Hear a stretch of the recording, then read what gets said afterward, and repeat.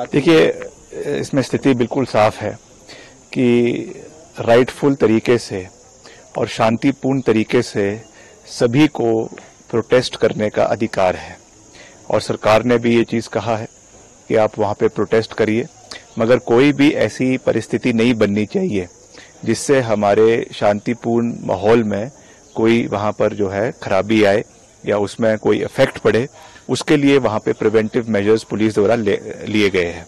और वहाँ पे धारा 163 वहाँ पे लगाई गई है। पुलिस की छावनी में उस एरिया को तब्दील किया गया है ताकि कोई भी ऐसी परिस्थिति ना बने जिससे कल को प्रदेश की लॉ एंड ऑर्डर के ऊपर एक प्रश्न चिन्ह उठे।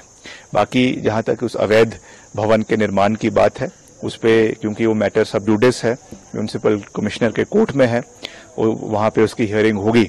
तो उसके बाद निर्णय सरकार लेगी और हमने बिल्कुल साफ़ तरीके से कहा है कि अगर वो अवैध पाई जाती है तो निश्चित तौर से 100 परसेंट उसके ऊपर कार्रवाई होगी और उसको जो है कानून की प्रक्रिया के माध्यम से उसको उसको डिमोलिश किया जाएगा। मगर that is a step that will be taken once the order of the municipal commissioner comes उसके पहले उस पर कार्रवाई करना उचित नहीं है।